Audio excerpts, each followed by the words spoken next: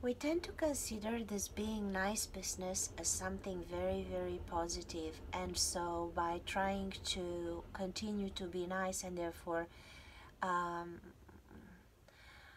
have people around us say, Oh, you know, they're such a nice person, I can't believe that happens to them, or because why? Nice people finish last, right? Um, there is a a certain law of the jungle that we tend to ignore in the name of some ideas that really never functioned. Um, so yeah, we promote niceness over assertiveness at all costs, and we consider being nice as the way to be.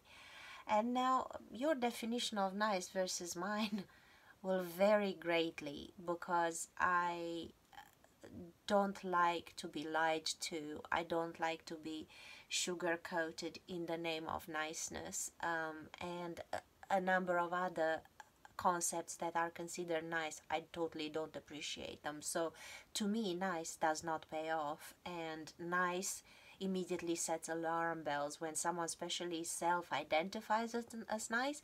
That definitely sends my alarm bells ringing uh, because that's not cri- uh, the criteria. For me integrity and authenticity values a lot more than nice. But we consider that as positive and we do have a lot of hang-ups on positive versus negative.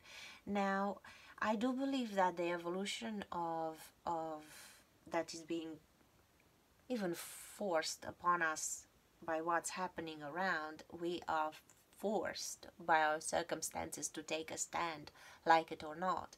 And we are going to continue to continue to be forced to take a stand um, on what we find right, what we find wrong, and so on. And as much as we want to unite, we can't unite, and the division between us it's greater and stronger with by the hour. Um, and so this whole nice business it's kind of ran its course and everyone ends up expressing their bias and expressing their hidden thoughts because permission was given by the authorities around us. Um, unwittingly but then ever so timely.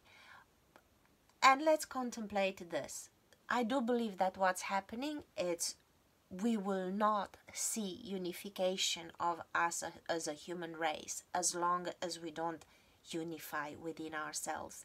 And as long as we have here in our gut, our inner self, our higher self, desiring one response, and here our conditioned niceness giving another response, we are at war.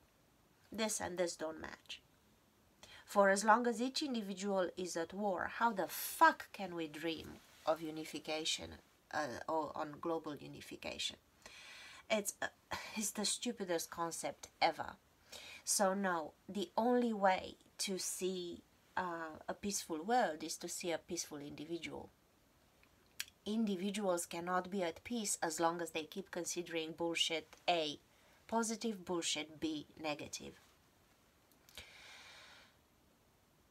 So the wholeness and the, the, the, the unification of the self is paramount. So now let me elaborate on the positive. Let's say a child is born in what we consider a very negative environment. Let's say he's born to a Nazi, neo-Nazi or whatever extremist family you want to choose. This child is a boy and it's indoctrinated with um, being part of our clan is not to be nice is to be actually hateful to be strong means this this this. So what the rest of society would consider totally not nice. So to him nice and doing right by his family is not nice by the rest of us let's say.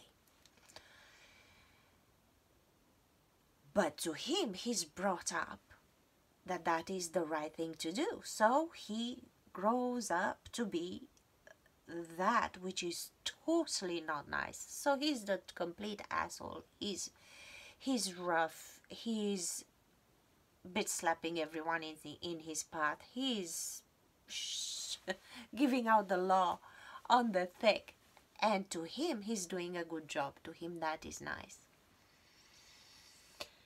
But something inside of him, again, sometimes he sees someone that he really doesn't hate. He really doesn't want to dish out what is